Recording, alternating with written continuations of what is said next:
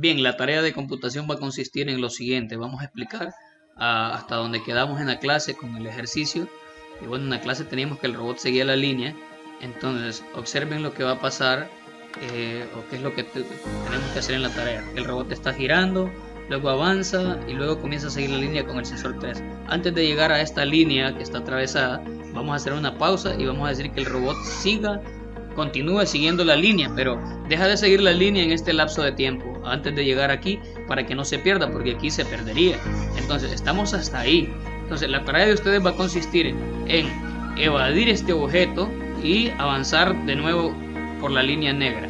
Eh, en la competencia, si ustedes mueven el árbol, por eso estamos siguiendo la línea negra con el sensor 3, porque si movemos el árbol o movemos este objeto que está aquí, eso nos resta puntos. De igual manera, si movemos este objeto, nos va a restar puntos. Entonces, podríamos evadirlo, o sea, llegar antes de él, indicarle al robot que haga una, una curva y vuelva de nuevo a la línea negra y la sigue. Entonces van a hacer que el robot siga la línea negra, siga la línea negra. Cuando esté aquí, vamos a decirle que en lugar de seguir la línea con el sensor 3, que la siga con el...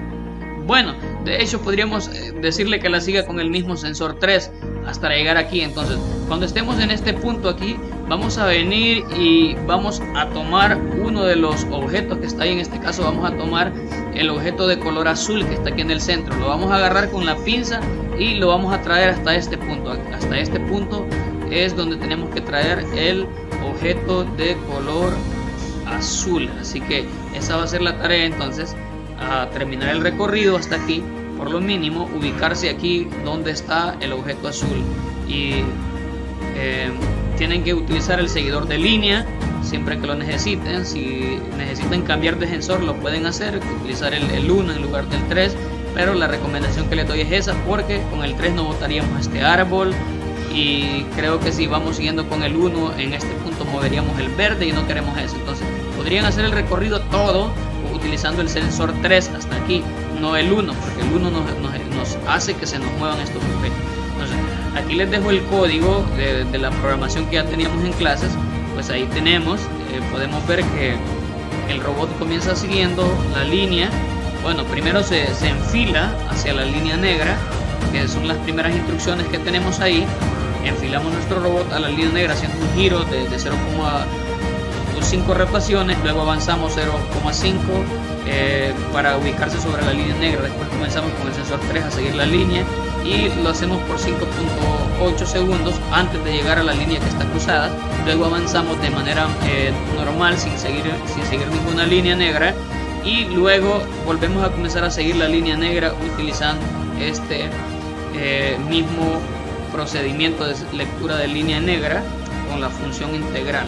Entonces, eh, ya saben, tienen que evadir el objeto y llegar hasta el punto donde se les está indicando, tomar el objeto y llevarlo hasta el otro lado donde está la parte azul. Entonces, esa es la tarea y les voy a mostrar nuevamente el código para que lo puedan tener ahí. Vamos a visualizarlo bien para que tengan acceso a él. Ahí está el código. Vamos a visualizarlo por aquí por la izquierda. Y ahí vemos nuestro código vamos a colocarlo en la parte inferior para que vean qué es lo que sigue y así pues puedan, puedan visualizar en la pantalla todo el código que tenemos hecho. Vamos a conectar por aquí. Y ahí está todo el código.